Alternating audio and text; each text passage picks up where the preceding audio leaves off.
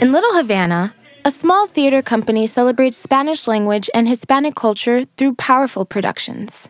It's a rarity in the United States to see professional theater done in Spanish. It used to be more common, and now it's becoming increasingly difficult to find it. Teatro Prometeo, a mainstay of Miami's cultural scene for over 45 years, continues to reflect the city's vibrant communities through its Spanish language productions.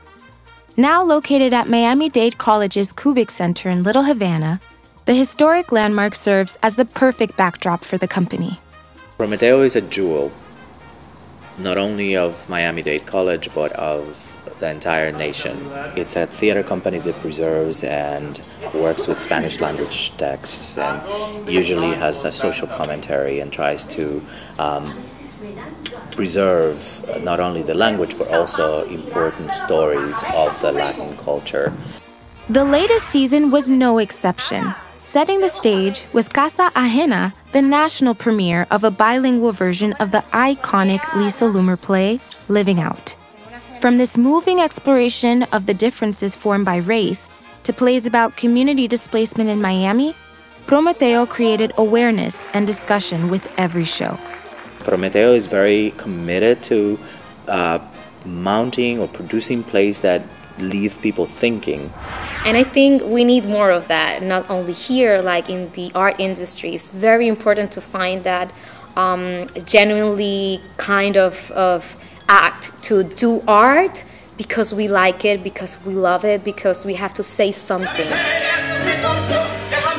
Wrapping up the season was a revival of the legendary Latin American musical, La Verdadera Historia de Pedro Navaja, returning to the stage for the first time in 15 years. We have a live band with, with us. They're gonna make you dance, they're gonna make you feel good.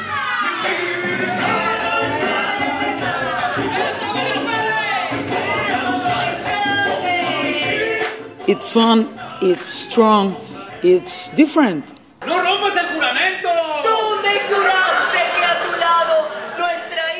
Inspired by John Gay's The Beggar's Opera and the iconic song by salsa legend Ruben Blades, the play showed to sold out audiences. What I love the most about this play is the themes, the social themes that are so accurate. Uh, now these times, even though this play was, you know, was written like a long time ago, and as an actress and and as a performer, I think that it has a lot to say. The next season will include the world premiere of The Spanish Vampire, a comedy written by Miami's very own Luis Santeiro of Que Pasa USA. The bilingual show takes place in 1930s Hollywood on the Gothic set of Dracula.